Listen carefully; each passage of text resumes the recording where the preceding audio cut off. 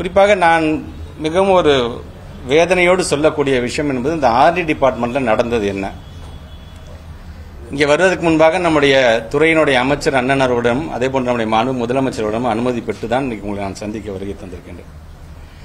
ரெண்டாயிரத்தி பதினாறுலேருந்து இருபத்தி ஒன்று வரைக்கும் ஒன்றிய அரசாங்கத்தால் அனுமதிக்கப்பட்டது மோர் தென் ஃபைவ் லேக்ஸ் வீடுகள் கட்ட வேண்டும் என்று அனுமதிக்கப்பட்டதுன்னு பார்த்தீங்கன்னா கிட்டத்தட்ட ஒரு ரெண்டு புள்ளி எட்டு லட்சம் வீடுகள் தான் இவர்கள் கட்டியிருக்கின்றார்கள். அந்த ரெண்டு புள்ளி எட்டு லட்சம் வீடுகள் இவர்கள் கட்டியிருக்கிறார்கள் என்று சொல்லும் பொழுது முறையான அப்டேட் இன்னைக்கு எந்த அளவுக்கு இந்த திட்டம் சென்று கொண்டிருக்கின்றது? இதுக்கு இப்போ என்னென்ன நிலையில் அது இருக்கின்றது? எப்படிப்பட்ட எப்படிப்பட்டவர்கள்லாம் நாங்கள் தகுதியானவர்களாக நாங்கள் தேர்ந்தெடுத்து கொடுத்துருக்கின்றோம் அப்படிங்கிறதெல்லாம் எதுவுமே முறையாக அங்கே அப்டேட் பண்ணாதனால கிட்டத்தட்ட ஒன்றிய அரசாங்கத்திலும் நமக்கு வர வேண்டிய ஆயிரத்தி நூற்றி பதினைந்து கோடி ரூபாய். இது ஆயிரத்தி ஐநூற்றி பதினஞ்சு கோடி ரூபாய். இது வராமலே போய்விட்டது. அவங்க நிறுத்தி வச்சுட்டாங்க அதை. ஏன்னா இந்த திட்டத்தை செயல்படுத்துறது கிட்டத்தட்ட பார்த்தீங்கன்னா ரெண்டு புள்ளி ஒன்று எட்டு எட்டு ஒன்று ஒன்று ரெண்டு புள்ளி ஒன்று எட்டு கோடி ரூபாய் செலவீடு வந்து தேவையற்ற செலவாக இவர் செய்திருக்கிறார் என்பதை சிஏஜி ரிப்போர்ட் சொல்கின்றது. இதில் குறிப்பாக வேதனைக்குரியது என்று நான் சொல்வதற்கு காரணம் எஸ்சி எஸ்டி பிரிவை சார்ந்திருக்கின்ற மக்களுக்கு வழங்க வேண்டிய முறையாக வழங்க வேண்டிய அந்த வீடுகள் வழங்கப்படாமல் இருக்கின்றது அது. இது அந்த மக்களை அந்த சமுதாய மக்களை வந்து இவர்கள் எந்த அளவுக்கு வஞ்சித்திருக்கிறார்கள் என்பதை நான் சொல்ல முடியும். அறுபது சதவீதம் இலக்கு என்பது அவர்களுக்கு வழங்க வழங்க வேண்டும்.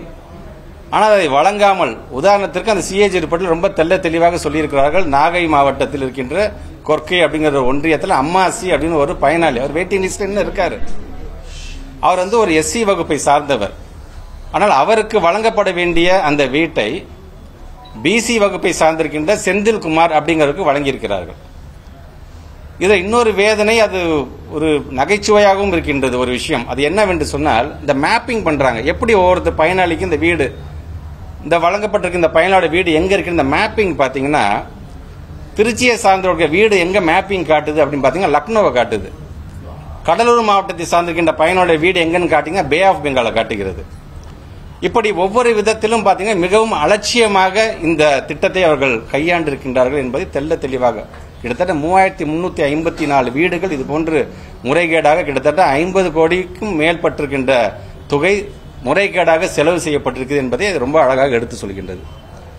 ரெண்டாயிரத்தி இருபத்தி ஒன்று நவம்பர் மாதத்திலிருந்து இந்த வருடம் மார்ச் மாதம் வரைக்கும் நம்முடைய அரசாங்கம் வந்த பிறகு நாம் அவர்களிடம் வாங்க வெரி ஃபர்ஸ்ட் டைம் இந்த ஹிஸ்டரி நாங்கள் மென்ஷன் பண்ணாங்க சிஏஜி ரிப்போர்ட்ல ரெண்டாயிரத்தி நானூத்தி தொண்ணூத்தி ரெண்டு கோடி ரூபாயை நாம் பெற்றிருக்கின்றோம். ஒன்றிய அரசாங்கத்திலிருந்து வீடு கட்டுவதற்கு நாம் பெற்றிருக்கின்றோம்.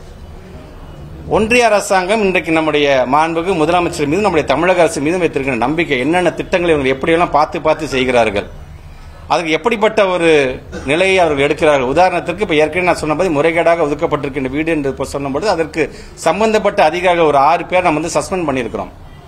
மாண்பமை பொருந்தி இன்னைக்கு சென்னை உயர்நீதிமன்றத்துடைய வழிகாட்டுதலின்படி இதற்கு தனியாக ஒரு குழு அமைக்கப்பட்டு இவர்கள் இந்த பயனாளிகள் முறையாக இவர்களை கையாண்டிருக்கின்றனர் முறையாக தேர்வு செய்யப்பட்டிருக்கின்றனர் இந்த பணியில் இன்றைக்கி நான் இறங்கிட்டு இருக்கோம். அதில் தவறு இருந்தால் கடந்த ஆட்சியில் நடந்த அந்த தவறு இருந்தால் மேலும் அது சம்பந்தப்பட்டிருக்கிற அதிகாரம் மீது நாம் நடவடிக்கை எடுக்க வேண்டும் என்கின்ற அந்த உறுதியோடு இன்றைக்கு நம்முடைய மாண்பு முதலமைச்சர் இன்னைக்கு விளங்கிக் கொண்டிருக்கின்றார்.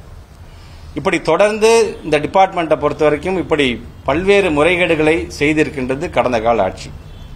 ஒரு நிர்வாகம் எப்படி நடைபெறக்கூடாது என்பதற்கு கடந்த ரெண்டாயிரத்தி பதினாறு ரெண்டாயிரத்தி இருபத்தி ஒன்னுடைய அந்த சிஏஜி ரிப்போர்ட் ஒவ்வொரு விதத்திலும் இன்றைக்கு எடுத்து சொல்கின்றது. ஒரு நிர்வாகம் எப்படி நடக்க வேண்டும் என்பதை இந்த இரண்டு வருடத்தை நம்ம கம்ப்ளீட் பண்ண போறோம் பொழுது ரெண்டாயிரத்தி நானூத்தி தொண்ணூத்தி ரெண்டு கோடி ரூபாய் ஒரு திட்டத்துக்கு இது ஒரு பான சோத்துக்கு ஒரு சோறு பதம் என்று சொல்வது போல ஒரு டிபார்ட்மெண்ட் எடுத்து நான் பேசுறேன் நான். இன்றைக்கு எங்களை நம்பி இந்த அரசாங்கம் ஒன்றிய அரசாங்கம் அமௌண்ட் எங்களுக்கு வந்து இன்னைக்கு பாஸ் பண்ணியிருக்கிறாங்க. இதை வைத்துக்கொண்டு இன்னைக்கு முறையாக இதை நாங்கள் செய்ய வேண்டும் என்கின்ற வகையில் இன்னைக்கு நாம் ஒவ்வொரு திட்டத்தையும் நாம் தீட்டிக் கொண்டிருக்கின்றோம். குறிப்பாக அந்த ஆதி திராவிடர்கள் என்று வரும்பொழுது சட்டமன்றத்திலே இதை நான் பதிவு செய்ய வேண்டும் என்கின்ற ஆசை இருந்தது என்று சொன்னாலும் அந்த நேரம் பார்த்து நம்முடைய எதிர்க்கட்சி சார்ந்தவர்கள் வெளிநடப்பு செய்தவர்கள் என்ன செய்தார்கள் என்று சொன்னால் ஒரு ஆதி திராவிட நலத்துறை சார்ந்திருக்கின்ற ஒரு மானியம் நடைபெறுகிறது என்று சொன்னால் முத்தமிழர் கலைஞர் அவர்களாக இருந்தாலும் சரி நம்முடைய மாண்புக்கு அமைச்சர் அவர்களாக நம்முடைய மாண்புக்கு முதலமைச்சர் அவர்களாக இருந்தாலும் சரி முழுமையாக அரங்கத்தில் அமர்ந்து சட்டமன்றத்தில் அமர்ந்து அந்த ஒவ்வொரு விவாதத்தையும் அதே போன்ற அமைச்சருடைய பதிலுடன் கேட்பது வழக்கம். ஆனால் அன்றைக்கு அவர்கள் வெளிநடப்பு செய்த பிறகு அடுத்த நாள் அதை பற்றி பேசும் பொழுது நீங்கள் இந்த துறையை புறக்கணித்து விட்டீர்கள் என்று சொல்லும்போது அவர்கள் அதுக்காக கூச்சலையும் குழப்பத்தையும் விளைவித்தார் நாங்கள் வந்து துறையை நாங்கள் வந்து புறக்கணிக்கவில்லை. எங்களுடைய வாதத்தை எடுத்து வைத்து விட்டு தான் நாங்கள் சென்றோம் என்று சொல்கிறார்கள் அவளும் கேட்கறது ஒன்னே ஒன்று ஒரு வாதம் வைக்கிறீர்கள். என்ன தேவை என்பதை சொல்லுகிறீர்கள். அந்த சமுதாய மக்களை ரெப்ரசன்ட் பண்ணி ஒரு மினிஸ்டர் பேச எழுதும் பொழுது அவர்களை அவமானப்படுத்துவது போது எழுந்து விட்டு எழுந்து வெளியே செல்வது வந்து எந்த விதத்தில் நியாயம்? சரி அது உங்களுடைய உணர்வுகளை வெளிப்படுத்துகின்ற ஒரு விதமாக கூட அது இருக்கலாம் என்று தான் நான் நினைத்தேன். ஆனால் இந்த ஆர்டி டிபார்ட்மெண்ட் ரிலேட்டடாக அந்த எஸ்சி எஸ்டி மக்களுக்கு செல்ல வேண்டிய ஒரு அந்த பயனாளிகளாக இருக்க வேண்டியவர்களுக்கு உரிய அந்த வீடுகளை வழங்காமல் அதை மற்ற வகுப்பினருக்கு நீங்கள் செலுத்தும் பொழுது அந்த அறுபது சதவீதம் இலக்கை கூட நீங்கள் எட்டாமல் இருந்தது பொழுது உள்ளபடியே அது வேதனைக்குரியதாகத்தான் இருக்கின்றது. எந்த இயக்கம் திராவிடம் என்கின்ற எழுத்தை பயன்படுத்துகின்றது எந்த இயக்கமாக இருந்தாலும் அவருடைய அடிப்படை கொள்கையே ஒடுக்கப்பட்ட தாழ்த்தப்பட்ட பிற்படுத்தப்பட்ட மிகவும் பிற்படுத்தப்பட்ட மக்களுக்காக ஆரம்பிக்கப்பட்ட இயக்கம். பெண்களுடைய விடுதலைக்காக ஆரம்பிக்கப்பட்ட இயக்கம் என்கின்ற அடிப்படையில் தான் அந்த இயக்கமே தொடங்கப்படுகின்றது. ஆனால் அதுக்கே நீங்கள் இப்படி அது போன்ற ஒரு கொள்கையிலே நீங்கள் கை வைத்திருக்கிறீர்கள் என்று சொல்லும் பொழுது உள்ளபடி அது வேதனை தரக்கூடிய ஒரு விஷயமாகத்தான் அந்த விஷயத்தை நான் பார்க்கின்றேன்.